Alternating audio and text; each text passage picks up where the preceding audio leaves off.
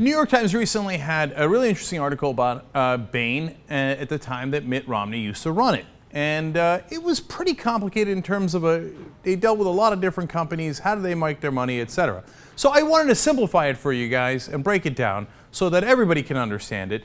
Because oftentimes Bain Capital would make money even if their investors lost money or the companies that they had bought went under. And that's confusing. Why? How, how are they making money when everybody else lost money? Well, let me show you. So first, let's talk about how Bain Capital used to make money. They have many, many different ways. Let me show you.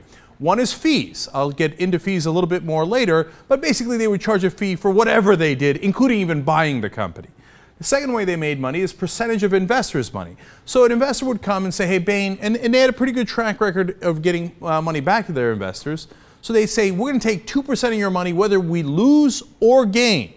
And now look, the investors agreed to it, so they can charge it as long as they agree. So they made money in that way. Even if they lose money, they get at least 2% of the whole cash. And then a percentage of profits. On top of that, if we make money for you, so for example, if they gave a, you gave $100, which of course they wouldn't take because it's too small, but for the sake of simplicity, they take $2 out of it right away and put it in their pocket. And then if on that 100, the remaining $98, they made 10%, well, then they would also get a percentage of those profits. That could range from 10 to 20% extra, right? And then they would invest in the business themselves from time to time. That's actually a good thing because that gets you invested in whatever project you're doing so you have an incentive to make sure that it goes well. So that's not bad. Dividends. This is a huge problem, okay? This is where they take money out of a company because they put debt onto a company. I'll explain that a little bit more later. Fees and dividends are your biggest problems. And by the way, they also made money in a secret way, which is that when they took debt out of a company and then they paid it back in loans, then they wouldn't have to pay income tax on it. So they also took advantage of the tax code to make a little bit of extra money. So let's talk about fees a little bit more. What kind of fees did they charge? Well, this is where it gets a little comical. They would charge a, a fee to the company for buying the company. Because at once they have controlling interest, they can charge whatever the hell they like. It's going straight into their pocket. They would also, of course, have a fee for managing the company. They'd have a fee if they invested more money in the company. They'd have a fee if they took more money out of the company. They'd have a fee if they bought smaller companies for the larger company. And finally, they'd have a fee for selling the company. So now, after they've taken all those fees out, if the investors made a couple of bucks or the company itself uh, also had some profit, great. If they didn't, who cares? In fact, let's show you a couple of examples. All right, first one is a simple one. It's GS Industries. And they purchased it for $8.3 million. That's why they're called leverage buyouts, because they put in $8.3 million and then they get a lot more loans on top to be able to buy the company from the original owner. And they, after they got all those loans, they paid themselves a dividend of $33.9 million. In fact, they took out a debt of $125 million. So here's the interesting part about dividends, right? Because once they take the $125 million from the bank to put into the company, now if it was your company, what you would do is you would invest in the company. Maybe you buy plants, you hire more workers so that the company can make more money down the road. But oftentimes that's not what Bain did. Bain would take about 34 million of that money and put it in their pocket. And they go, I already made money on this. Now if the company goes bankrupt, who cares? I put in 8.3, I made 33.9. They're right. For them, it doesn't matter at all. In fact, what happened to GS Industries? They went bankrupt. Now, everybody that worked there, they lost their jobs. So if you had a pension there, sad day for you. If that was your job, sad day for you. If you were an investor, sad day for you. But Bain makes money either way. And this scam is ridiculous, where they go to a bank, they say, okay, here, give me money for the company. Ah, I'm not going to use it for the company, I'm going to put it in my pocket.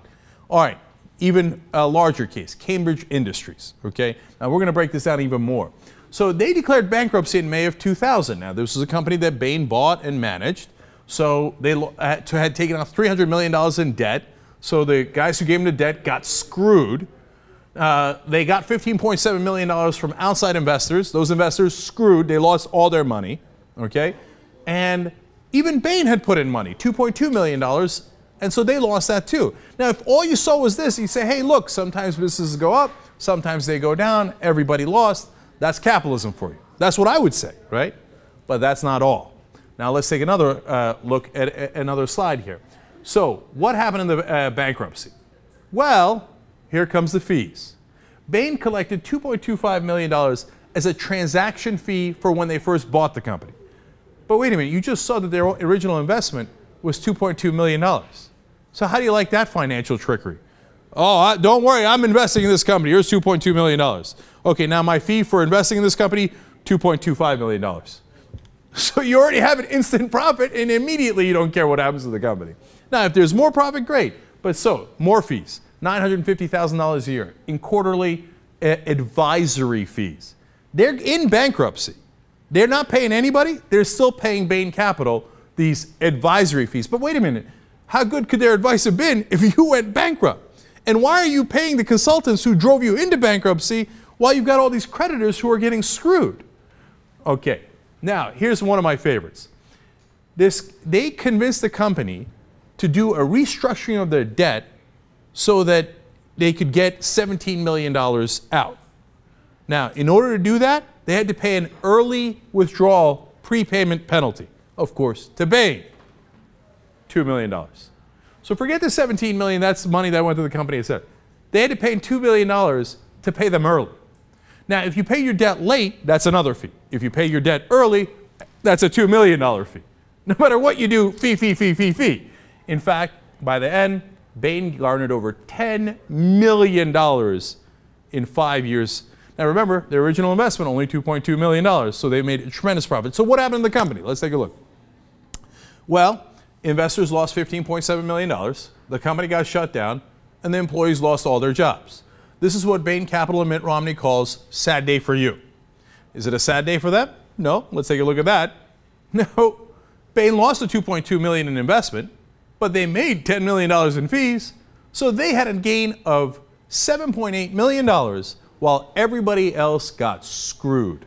All the employees, all the investors, everybody lost everything, except somehow magically in that failure and bankruptcy, Bain, who was managing it, proud to be managing it, brags about managing it, drove them into bankruptcy, and made $7.8 million doing it. Now, Bain didn't lose money on all their uh, companies, and oftentimes they made tremendous profits for their investors. And sometimes the companies would go into bankruptcy and the investors would make money anyway. But no matter what happened, the company does well, the company goes bankrupt, Bain makes a tremendous amount of money because they rigged the system in their favor. Now, if you're thinking about voting for Mitt Romney for president, now I need you to keep that in mind. Now, a lot of you might look at that and go, well, that's smart. You know, uh, credit to him for uh, having suckers invest in his company, having the sucker banks giving the, the, the, the loans that they wound up putting in their pockets, etc. But keep in mind who Mitt Romney cares about. He cares about himself. So if you think that once he becomes president, all of a sudden he's not going to worry about his bottom line, that he's not going to operate in exactly this way, and then if you lose your job, who cares? Did Mitt Romney get paid? Did his contributors give him enough money to win the election, to buy the election? Yeah, okay, that's what he cares about. Is does his uh, supporters make money? Does he make money? That's what he cares about. You think he cares about your bottom line? And remember, this is the central thing that Mitt Romney is running his campaign on. What a success he was at Bain Capital and how he knows business. But the business he knows isn't about creating jobs, let alone here in America. It's about how to make money while screwing everyone else over. Now, if you think that's good in our president, then you go ahead and vote for Mitt Romney. And maybe you think as an investor, sometimes it might work out for you and sometimes you might get screwed and you want to put money into Bain Capital. That's a different ballgame. But if the guy who's running our country thinks the only thing he cares about is his own bottom line, no matter who else gets hurt, I don't think that's good for our country.